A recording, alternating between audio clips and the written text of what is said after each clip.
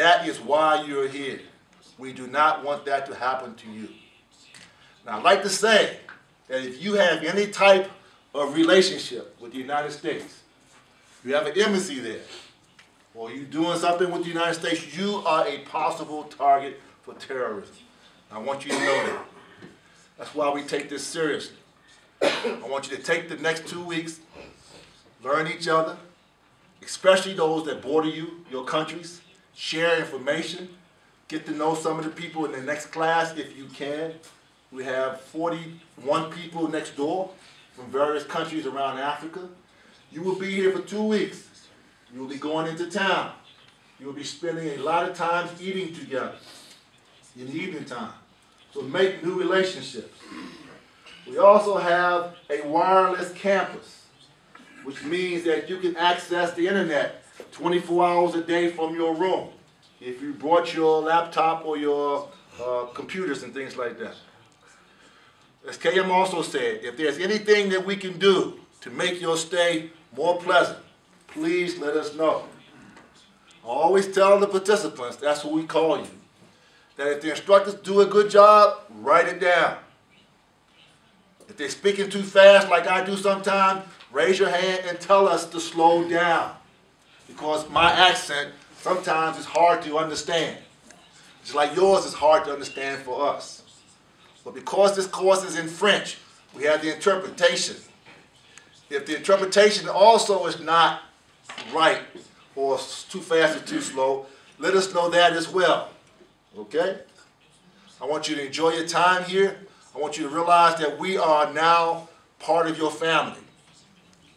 Once you graduate in two weeks, you will become members of the ILEA family. Right now, there's almost 8,000 members who have come through the doors of the ILEA since 2001. We want you to be a participant. We have a Facebook page. And we have a lot of countries, a lot of members who have joined that Facebook page.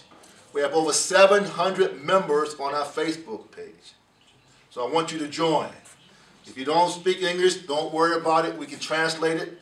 There's uh, French uh, Facebook, so it's just as good as ours, okay? Would you look around the room, and see the photographs. We will be taking photographs. This gentleman will be doing it. This class, we they blow up things. And it's loud. And it's very pretty. I've seen things that I haven't seen before I got here with these gentlemen, these ladies. They are good at what they do. And I want you to tap into their vast knowledge and experience and go back home with newfound ideas and ways to handle things, okay? I want you also to realize that you are the first line between the terrorists and your citizens. So take what they say seriously, okay? Enjoy your time here. And seriously, if there's anything we can do to make your stay more pleasant, please let us know, okay? I'll be coming to the class. I want to see some more things blow up. We want to blow up some vehicles and some, hopefully one day a motorcycle and, you know, uh, cars and things like that, okay? So if you have experience, bring it to the class. Last but not least, Togo. You guys look good in your uniforms, man. I like those uniforms. And Burundi, I have never seen your uniform. You look really nice. So I have to get a photograph with the people in uniform. It's not that I don't like the rest of you, but you look like me. So promise me, after we take a photograph, I want to get a photograph with all the people in uniform, okay? So we can keep it in our files.